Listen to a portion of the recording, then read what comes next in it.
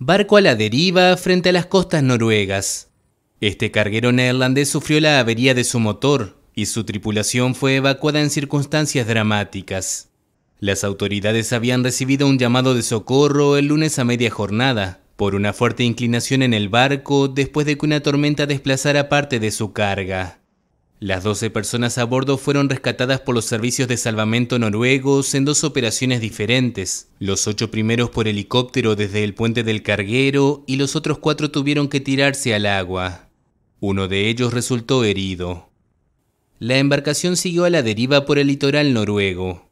Parte de la carga cayó al agua, lo que contribuyó a reducir su inclinación, que ahora se estima en 30 grados tras haber oscilado entre 40 y 50.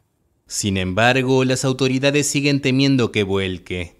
Un posible naufragio podría provocar un escape de hidrocarburos, ya que el carguero lleva 350.000 litros de fuel oil, 75.000 de diésel y 10.000 de aceite de engrase.